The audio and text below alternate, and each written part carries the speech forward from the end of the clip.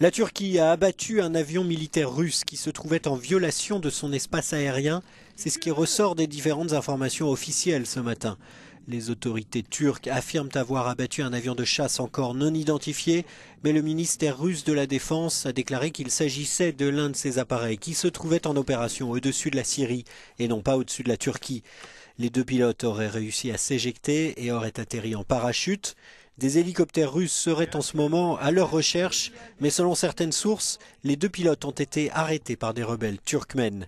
Ces derniers jours, les autorités turques ont menacé Moscou à plusieurs reprises d'agir si l'armée russe ne cessait pas ses incursions dans le ciel turc, mais la Russie a déclaré qu'elle pouvait prouver que ces appareils étaient restés dans l'espace aérien syrien.